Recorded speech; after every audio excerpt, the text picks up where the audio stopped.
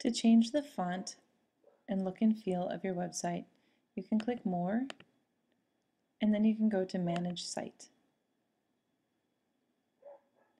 On the left on the toolbar, you'll scroll down to Colors and Fonts.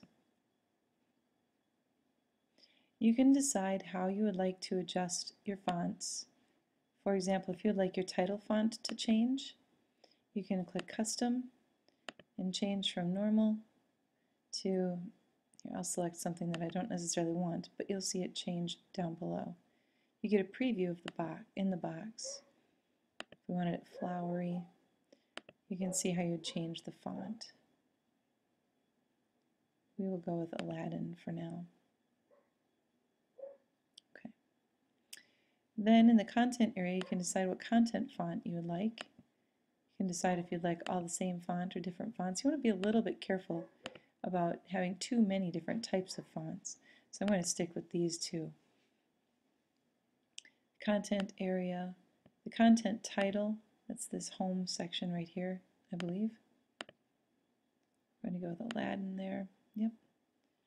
And then as you scroll down, you can play with colors, background colors. Can, this is where you can put in a background image if you would rather have a background image instead of the, the template that you have selected. And if you scroll down a little bit, you can do your sidebar gadget font. And that's the this section over here. I'm going to go with Aladdin. And you can see it changed my fonts here as well. Okay.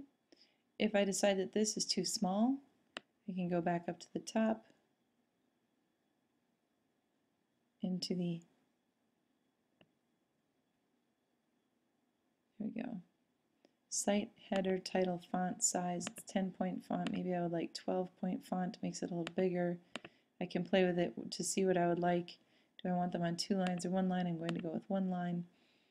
And when you finish, you have it the way that you'd like. You can always go back in and change it, but you can click Save.